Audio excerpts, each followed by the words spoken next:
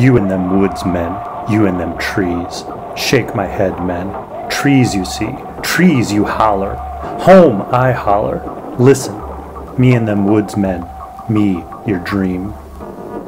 Leave them trees alone, men. Trees, twisted thickets of spruce, men.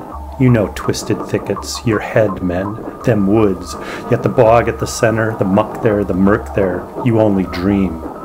Skinny legs sunk in swamp, them trees. Them trees, I scratch my chin with them. Dream is what we are, the bog there, me, the murk at the center of what you holler to see, men.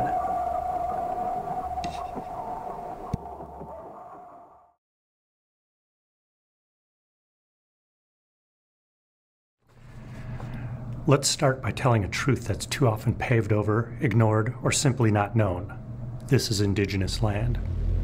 I'm speaking both of the place where I write from in Minneapolis, Minnesota, and the place where I wish I was at the moment, Tromsø, Norway. Let's take a moment and reflect on the fact that all of Minneapolis and most of what is now southern Minnesota is on unceded Dakota Indian territory. We speak the Dakota people's language when we say Minnesota, but at a larger cultural level, we rarely reflect on that fact, other than to say this land was once theirs. Such a cult move culturally erases the living presence of the Dakota Oyate.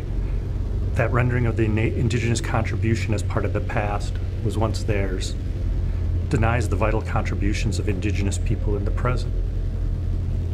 This idea that indigenous people were progressed away from as settler states asserted their dominance is treated as fact in national histories and cultures, yet Native people continue to speak their languages, practice their ceremonies, and live their stories, despite 500 years of genocidal settler colonial attacks on all of those things.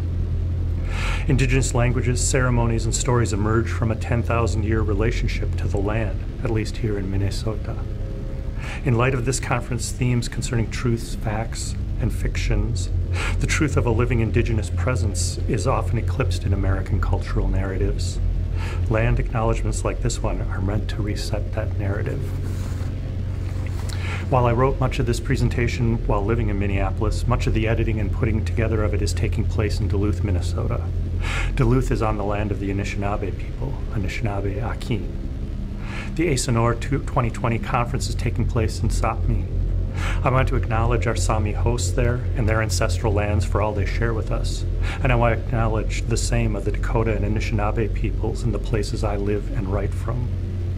I honor the Sami, the Dakota, and the Anishinaabe peoples as the caretakers of their respective homelands, past, present, and future, as well as honoring the treaties that recognize the inherent political, cultural, and spiritual sovereignty of indigenous nations and their citizens. When considering questions of truth and post truth, facts and falsehoods, as this conference asks us to, acknowledging the Indigenous presence on and in the lands where we find our homes is a good way to start on the path to finding our way with Native literature.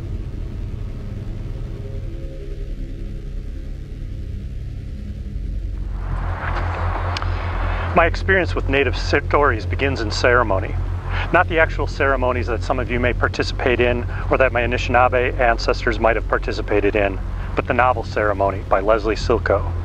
I felt a deep affinity with her native protagonist, Tayo, a young man from the Laguna Pueblo. I felt like I understood him. Really, though, I think it's more accurate to say that Silko's book understood me. Reading it in the mid 80s when the threat of a nuclear war was amplified by an out of control arms race, I felt completely alienated from the society I lived in. I felt lost, on my own, just like Tayo did in the book. It hurt to feel that way, like there was something wrong with me. You shouldn't be alienated from your society, should you? Near the end of ceremony, Tayo picks up a piece of uranium ore and looks at it. The veins of ore and streaks of color on the stone look to him like mountain ranges and rivers.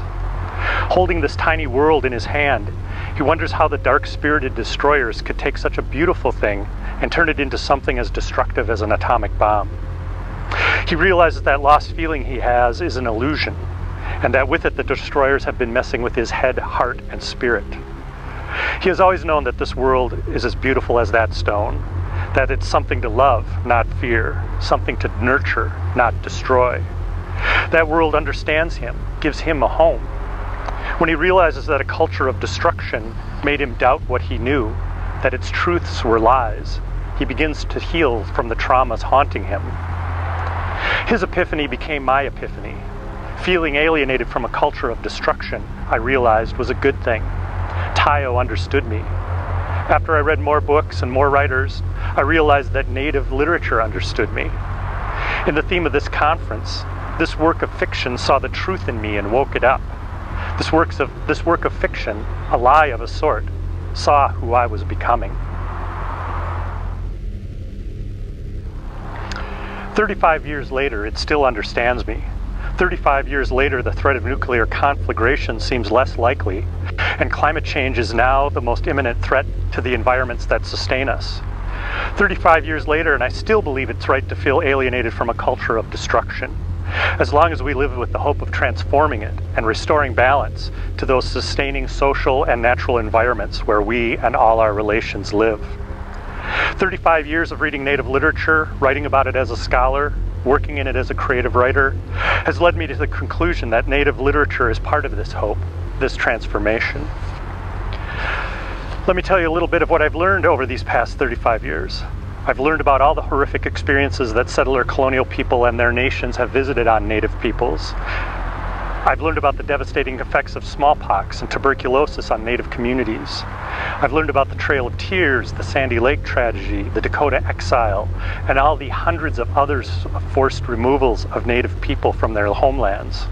I've had my heart broken reading stories of Native children taken to boarding school, losing their languages, their cultures, and too often their lives. I've had it broken again up reading about the same children who, when they finally return home, are no longer able to speak directly with their grandparents. In short, I've learned a lot about how the settler colonial nations go about alienating native peoples from their languages and cultures, from their families and communities, and from their homelands. I've also learned to recognize the way this culture of destruction continues to cut at native peoples and communities through media stereotypes, sports mascots, as well as pipeline and mining projects. This culture of destruction is alive and well in the present.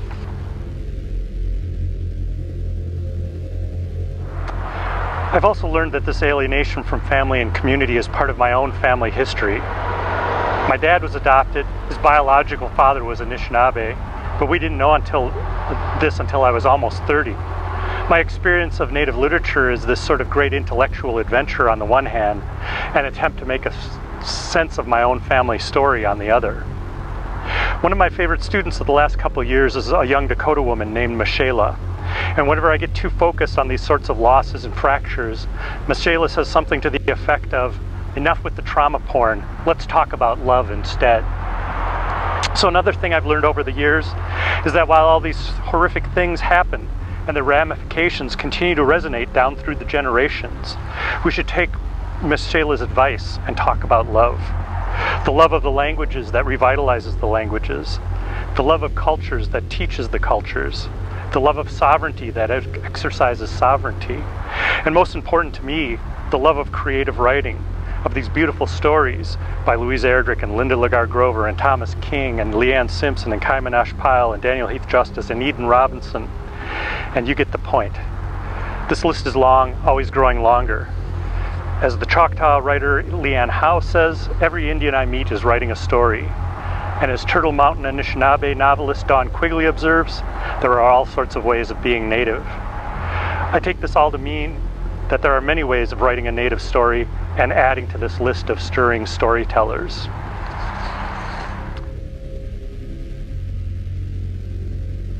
The native story I've been writing, our Anishinaabe family story, is one of loss and separation, alienation. In my novel, Stories for a Lost Child, I dramatize this with the story of Fiona, who knows she's native, but doesn't know anything beyond that, not even her tribal affiliation. Her mother tells her nothing. Her, mother, her mom has no relationship with her own father, Fiona's grandpa. But the summer before starting high school, Fiona receives a box from this mystery grandpa. Um, inside the box are stories he's written to help her understand who she might be as an Anishinaabe person, as well as revealing something about who he might be. Though they end up raising more questions than they answer, these stories are an antidote to Fiona's alienation from her native identity. They give her some sense of who she might be in relation to her Anishinaabe ancestors. They help her find her way towards something, even if we're not quite sure how that will manifest more fully in her life after the book ends. The stories that her grandfather writes for her are about all sorts of things Indians in space, boarding schools, missionaries lost in the woods, and homeless people living down by the Mississippi River in Minneapolis. He also writes in the voice of a being that he calls Misaabe in numerous pieces. In other dialects of Anishinaabemowin, this being is named Sabe. One of my favorite writers at the moment is Leanne Simpson. Her story, She Told Him 10,000 Years of Everything, is about Sabe, and in it Simpson writes, Although Sabe appeared to be in her late 30s, she'd been on Earth much longer than that. In the old days, when only the Anishinaabe were here, she had a different name, a kind, gentler, kinder name. Nowhere in the story do we learn this gentler, kinder name, so I'm just going to speculate and wonder if it's the name where we hear where I live, Bagwajinini. Those of you who may not have my severely limited skills in Anishinaabemowin may be wondering what I'm talking about. What's Misaabe, or Sabe, or Bagwajinini? I've heard these words translated into English as giants or the forest people. In contemporary terms, I've heard it refers to the being we know in the broader culture as Sasquatch or Bigfoot. Bigfoot or Sabe is a crucial cultural figure. Sabe is the spirit of the Anishinaabe grandfather teaching about honesty, a teaching that Simpson, sum, Simpson sums up by saying Sabe walked with the Anishinaabe to teach them about both sides of honesty the power of being forthcoming with another being, and the art of cherishing another's most naked truth. Speaking with that sort of honesty is difficult, as is listening with it. It requires kindness, gentleness, compassion. Like Bigfoot, that sort of uh, honesty is elusive, dreamt of, hoped for, but often difficult to track, track down. There's another part to the teachings about Bigfoot, one that informs and shapes both the Misabe pieces in my novel and in my current book project, which I'm calling Strange Spirits, a memoir in monsters. In Edward Benton Banai's Mishomis book, Bagwajinini tells us that the Creator sent me here to guide and care for those who became lost. Simpson elaborates on this theme in her work, telling us that Sabe's job in those old days was like her job now she looked after people who had gotten lost, both physically and metaphorically. In my book, in the grandfather's stories, Misaabe or Bigfoot thinks all of humanity has become lost, detached, alienated from the world as it is. Misaabe is so upset that he even breaks from a speaking Anishinaabemowin and addresses the world in English, even if his grasp of the language might not quite be grammatical. I open this this presentation with the beginning of one of these pieces in Misaabe's voice. Now I'll give you the whole piece. You and them woodsmen, you and them trees, shake my head, men. Trees you see, trees you holler. Home, I holler. Listen, me and them woodsmen, me, your dream. Leave them trees alone, men. Trees, twisted thickets of spruce, men. You know twisted thickets, men. Your head, them woods, Yet the bog at the center, the muck there, the murk there, you only dream. Skinny legs sunk in swamp, them trees. Them trees, I scratch my chin with them. Dream is what we are, the bog there, me, the murk at the center of what you holler to see men. Dream step I do, Bigfoot ramble through spruce, through dreams, through muck. Me in the deep spruce there, see me men. Yet them pictures you make, them show only swamp shadow and murk dream. Proof, you call it. Proof, you holler. You holler it again and keep hollering. Yet men doubt your dream men. Dream men, dream. Holler that. Proof is no proof. Listen, them bogfoot swamp steps show me. Yet men, twisted steps sunk in muck are evidence of absence only men. Yet absence points deeper men, under the muck men. Dream deeper.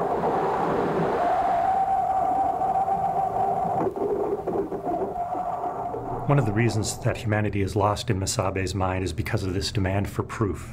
The larger society does not understand the notion that Bagwajinini is a spirit and that a spirit is real.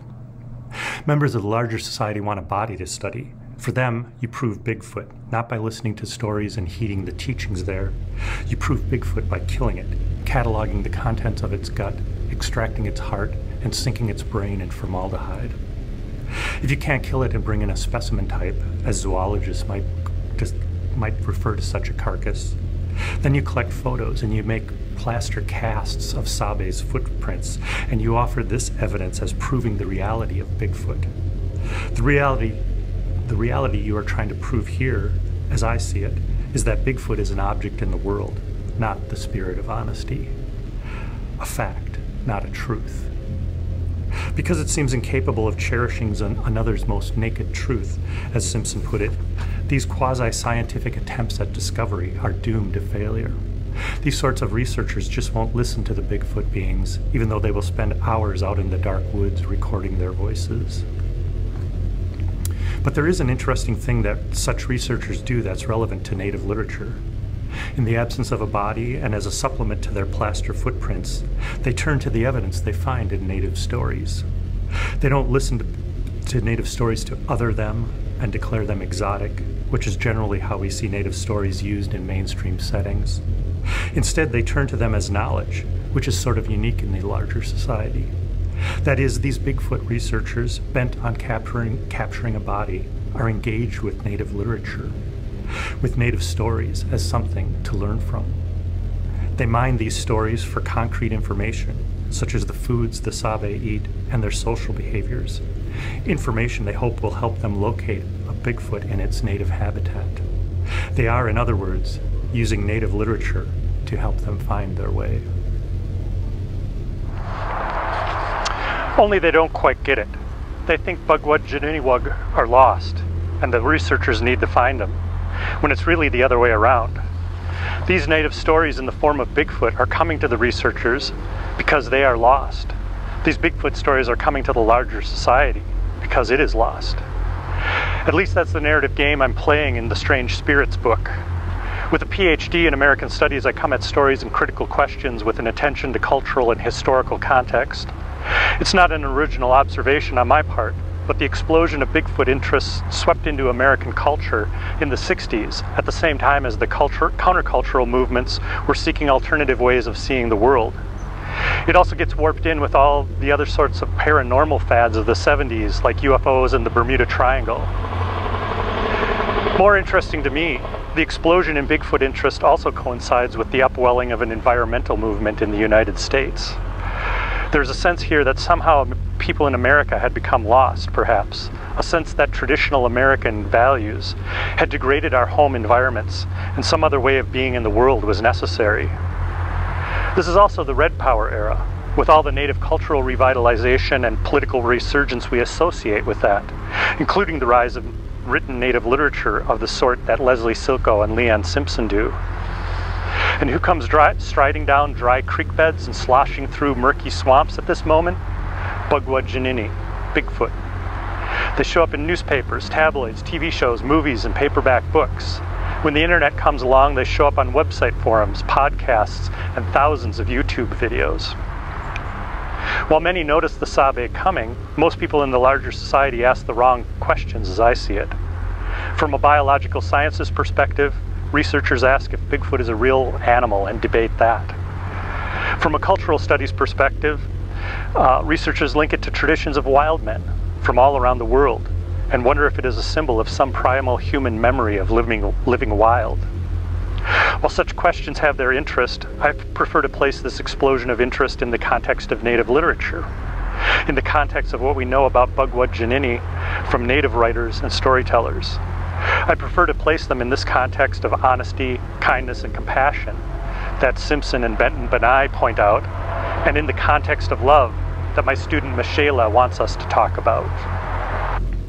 One of the things I love about this Bagwajinini Bigfoot presence is that it is widely considered false by the larger society, yet this lie is the spirit of honesty in Anishinaabe teachings. In her book, as we have always done, Leanne Simpson talks about how thinking within an Anishinaabe context in academia or in within any other sort of majority culture spaces shifts the larger society's assumptions and as such is a way to decolonize those spaces. Decolonizing requires truth telling about the costs and consequences of settler colonialism on indigenous peoples, their nations, and their lived environments. Of bringing the absences fostered by settler colonialism to light, much as we try to do with the sort of land acknowledgement that I opened with. It is a process of speaking honestly, which sends us back to Simpson's words about being forthcoming with another being, as well as cherishing another's most, another being's most naked truth. In the decolonizing process, when indigenous peoples speak the native truth, the naked truth of their experience, it is not open to denial or cross examination. In reflecting on their power of honesty, Bagwajinini says if we are truly honest and we truly want to stop know, not knowing the truth of settler colonial misrepresentation of indigenous experience, we must cherish that naked truth as it is shared with us. Such honesty, cherishing it, is one of the keys to the transformational project of the decolonizing process. What I want to do for the rest of my time is think about those questions I raised about being lost and about Bigfoot by telling you stories about a presence, a mystery that many people regard as wholly fictional. Instead of asking the skeptical questions about the material reality of Bagwajininiwag, I want to listen to the stories with that second part of honesty that Simpson mentioned. I want to listen honestly and cherish what I hear from within an Anishinaabe context. I've been turning my attention to other forms of literature in this project. I'm not necessarily writing about the great literary writers. I'm looking often at vernacular stories, stories told by people interested in sharing their experiences or their traditional knowledge. Let me share one of these stories with you. It's from an October 2007 edition of the Duluth News Tribune, and is just a slim two sentence report that I've expanded in the sort of creative nonfiction way I'm trying out in this project. I call this story Along the Embankment. The trees of the Northwoods, white and red pine, bend at the end of her vision as the car speeds down the road. She aims to make Bena on the Leech Lake Anishinaabe Nation before too long. Bena is home. The, pre- the, trees press up against the road, keep her car focused forward, moving towards something in Bena, but the story doesn't make it clear why she's heading there. Maybe she's heading to an ailing grandparent or towards ceremony. Perhaps she's been away from her community for a year or a decade or a lifetime and is seeking to renew connections she'd neglected for too long, even if, she may, even if she's maybe only really been gone three months. She's moving towards something in Bena, is all we know for sure. Ahead is a break in the road, that sort of break that barely even registers consciously when we've been on the road for a while, but which still draws the eye. A railroad line crosses the two lanes of the state highway, no bells are ringing, no lights flashing, so she approaches at speed. And again, in that unthinking way we get when on the road, she glances down the tracks and sees him there, standing at the top of the railroad embankment, rising from the stones along the tracks. Really, he towers there, taller than any person she's ever seen, dark hair covering his body. He looks straight into her eyes, his head turning to follow her as she speeds past and she begins to cry. She feels the weight of his gaze as the railroad tracks recede and the trees rise again in the rearview mirror. We don't know whether her tears came in great heaving sobs or as a gentle release of pent up emotion. The story doesn't go that far, but she will later tell people that she cried because Bagwajinini looked into her soul. He took it in as she sped by, saw something valuable nested there, I think, and so the tears came. He saw how real she was, he found her. Donald Sherman, an enrolled member of the Leech Lake Anishinaabe Nation and a Bigfoot researcher, told this story to the newspaper reporter. Sherman explains to the reporter that Creator sent the Bigfoot people to the Anishinaabe for many reasons, including as a way to warn people of impending illness. Illness may not just be a physical ailment, I'm supposing, but could also speak to a loss of spiritual balance, that harmony you seek to maintain within as well as with your greater community and with the ancestors that is the key to living Mino Bimaadiziwin. Bimaadiziwin is how you say the good life in Anishinaabe that life of harmony and balance that reflects both spiritual and physical well-being. Sherman also told the reporter that Creator sent the Bigfoot beings to guide and care for the Anishinaabe. Bigfoot teaches us medicine through our medicine man, Sherman said. Note, stories are medicine. At the beginning of the book that found me when I thought I was lost, Leslie Silko's Ceremony, an unnamed narrator tells us that stories are not just entertainment. Don't be fooled, he says. They are all we have to fight off illness and death. He goes on to say, with reference to the stories, that there is life here for the people.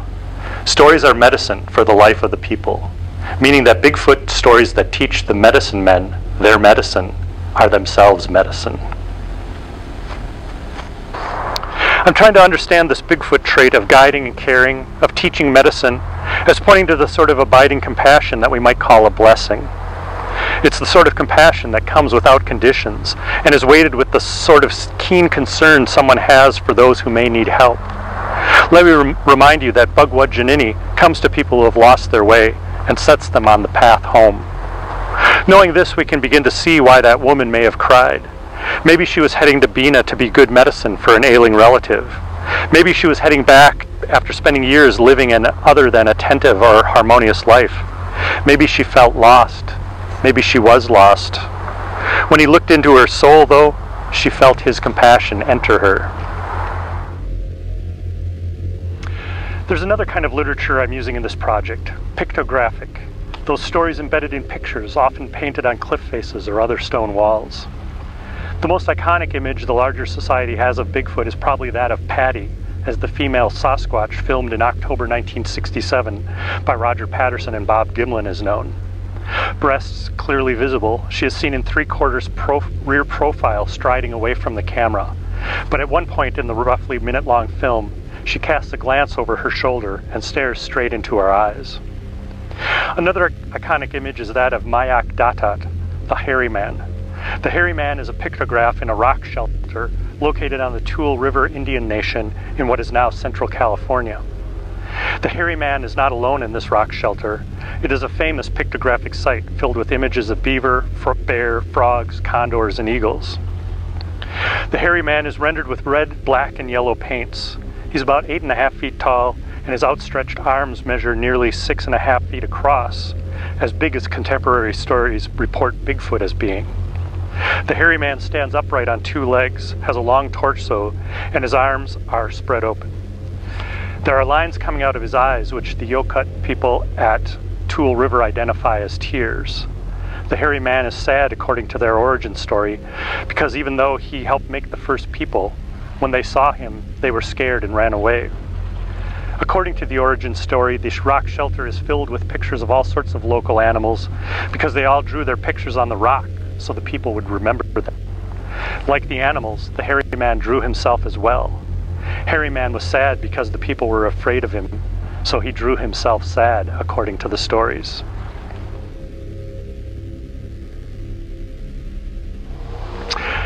The hairy man appears as if he's lumbering out of the rock face towards us. His eyes, like Patty's, like the Bigfoot spotted by that woman on her way to Bena, are fixed on us. Are the bud are the Bagwajininiwag looking at us because they are looking out for us, as Anishinaabe teachings suggest? The Yokuts, though a couple thousand miles away, seem to agree. In a story collected in 1975 at Tule River, elders said that while children were warned that the hairy man might eat them if they wander off, they also said he was good in a way, because he ate the animals that might harm people, and he kept the grizzly bear, mountain lion, wolf, and other large animals away. In other words, he takes care of the people he created. Even if he may threaten, he is also compassionate. Just like Bud Janini. sense of being simultaneously threatening and compassionate. He is not so different from the environments we all make our homes in. So this hairy man lumbers out of the stone face, moving towards us, arms extended. The Yokut at Tule River must think he's reaching out to us because they built their substance abuse center adjacent to the rock sh shelter where the hairy man lives, so that those in need can pray for healing there. Of this healing, the anthropologist Kathy Strain writes Through prayer, Hairy Man will appear in a dream and give needed information, be it a traditional medicine or the answer to a question. Many cave art, pictograph, and petroglyph scholars tell us that the stone faces that that carry these images were likely understood as by the original artists as a membrane between the physical world and the spiritual one. Despite its solid appearance, these artists understood that stone is permeable. In clefts in the rock in the caves of Europe, you can find half-formed animals emerging from such gaps, spirit animal, animals being born from other dimensions into our own. a record perhaps of an artist's visionary experience. Some rock art scholars speculate that the hands famously stenciled on the stone in sites across the world are not simple statements of I was here or this is mine, as sort of individualist or settler colonial understandings of property might have it. Instead, scholars think those hands are touching the membrane, marks of love perhaps, in acknowledgement of the dimensions within and beyond the stone. Those hands are telling that other world, I know you're there, I can feel you here. They may be expressions of gratitude, or maybe even prayers.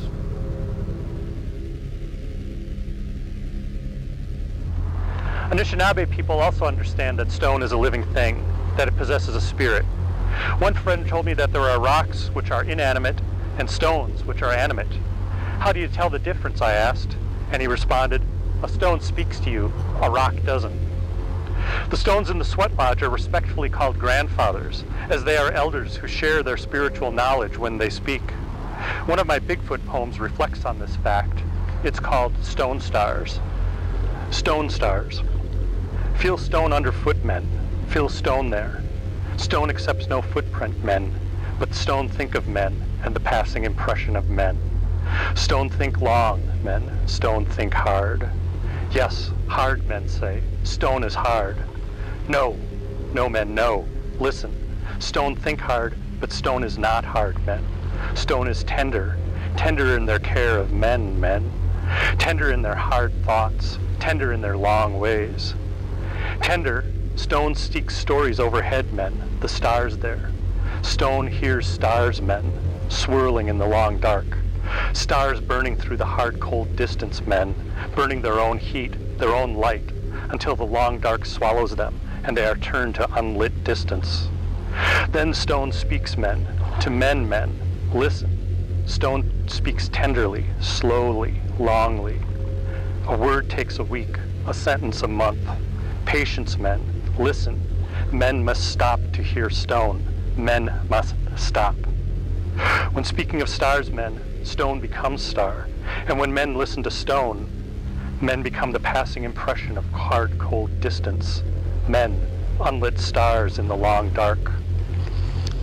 Stone's slow words are star prints, men, long impressions left in the swirling path of stars, the hard distance of it unmeasured until stone speaks. Tenderly, stone speaks of unseen stars, men, stars swirling darkly overhead, Stone speaks their burning thoughts of cold distance, their hard impressions of the long dark. And stone becomes star men. Stone becomes light, becomes heat. Feel stone there, men. Feel them. Listen. Stones are stars swirling underfoot. These understandings of stones as living things, or as a membrane between ourselves and spiritual realms, makes no sense in a rigid materialist, reductionist understanding of Western scientific knowledge. I hereby excuse theoretical physics from this generalization with its, all its wild and weird subatomic quark multiverse speculating. The physical sciences focus on the material world, and rock is a very hard material. One whose chemical composition can be parsed, whose age can be measured, whose origins in the seas or in the crucible of the earth can be reconstructed. Rock can be crushed and ores extracted. It can be made useful to humans in all manners of ways in this materialist way of seeing and understanding the world. By contrast, in those communities where stone is a membrane between our world and the ones of the spirit, where stone is understood as a living being, we can find a differing context for understanding the Bigfoot people. In Anishinaabemowin, this context is called Manitou. The con connotations of the word Manitou are many, though the prevailing definition is spirit. The great Anishinaabe scholar Basil Johnston tells us that Manitou might also refer to what he calls a deity, or maybe that sort of mystical sort of feeling that comes over you in certain places or at certain times. He also says that it is an essence that makes a thing what it is, but in the end, he says it is perhaps best understood as a mystery. From a modern empirical perspective, a mystery is usually regarded as a problem to be solved, a Bigfoot to be proved. In the Manitou sense of the word, as I see it, a mystery is not a problem to be solved. It is a presence, not a problem. Manitou is the mystery behind the world and within the world. It is ineffable, in the words of the Anishinaabe cultural educator James Vukelich. It may be incapable of being captured in word, and so is a true unknown. We know it exists, but not what it is. It is part of that reality from beyond the physical dimension where we live our day to day lives. Manitou, the presence, lets us know that the physical world is only one facet of our experience. Manitou is beyond the reach of human understanding. Our reason and logic are too limited to grasp what is going on in the unseen realities surrounding us, though at times we may see a being emerging from the stone face of a rock shelter, or a hulking figure standing along a railroad embankment. Mysteries like these may never be fully known, but they can be meditated upon, prayed with, written about, and thanked. Our engagement with them may lead to epiphanies and self understanding. The spirit and mystery is at the heart of Native literature as I see and teach it. Ink forming words on paper is the physical reality of a book. Paint forming the hairy man on the stone wall of that rock shelter is the physical reality of that image. Breath forming words of what that woman saw along the railroad tracks is the physical reality, at least in part, of Bagwajinini. Like those who dream of obtaining a Bigfoot carcass they can study, we can catalog the contents of the book or do a chemical analysis of the paint on that stone wall. But if we reduce stories to information, we likely miss the real importance of what we're studying. Facts obscure the truth. I do not speak Anishinaabemowin at all well. I recognize words and I know some simple conjugations, and I try to piece things together, but I'm not at all confident that what I'm about to say is correct. But even if it's not, here goes. DNA is a Sinuan. It is of stone. it is of stone. DNA, like stone, is made of carbon. It is carbon-based. It is of stone, a Sinuan. As the Anishinaabe writer Gerald Vizenor said, DNA is the story in our blood. And some elders will tell you that even one drop of blood carries that Anishinaabe story inside of you. Some stones are grandfathers and will speak to you, offering stories and teachings. My DNA is such a stone, a gift from a never known grandfather, and it speaks to me in the voice of Bagwajinini. That woman speeding down the highway didn't expect to see Bagwajinini among the stones along the railroad tracks. We don't know if she was road weary or perhaps in some state of heightened emotion as she approached Bena. But when she saw him, his gaze reached into her and touched something that startled her to tears. He offered her a striking moment of epiphany, an insight that belongs to her alone. It's a story of compassion and hope as I see it. He reached out to her with his vision. In short, what rises from the page, emerges from the stone, and stands along the railroad tracks is something more than physical. Something rises from the page, emerges from the stone wall, or takes shape and breath that makes the story move in us, sometimes to tears or laughter, sometimes to disbelief. But at other times it rises into insight into the lives of others or ourselves. For me, native literature has been like Bagwajinini. It found me when I was lost. My speeding car has no wheels, my country highway has no railroad crossing, and I have no route to Bena. But Sabe still found me, tracking me for years upon years, leading me to native literature, to the voices of Anishinaabe people, and to him. Sishoka Duta is a friend and colleague of mine. He teaches Dakota language, but he also likes to challenge me a little bit at times. One time he asked me if I ever taught traditional literature in my classes. You all know how it is when someone asks you an unexpected question and five minutes, five hours, five days later you come up with the perfect response. Well, on this one occasion, I had the perf- I came up with the perfect response right on the spot, and it helped me realize something about my relationship with Native literature. Because I lacked the depth of cultural knowledge and experience to do it justice, I told him that I rarely teach tr- traditional stories. But, and this was my perfect response, I told him that I teach contemporary literature as if it were traditional. I was pretty pleased with that response. With it, did I mean that contemporary Native literature is a substitute for traditional stories? No. Did I mean Native literature is the equivalent of traditional stories? No. I meant that, like traditional stories, I regard contemporary Native literature as offering teachings, not just telling tales.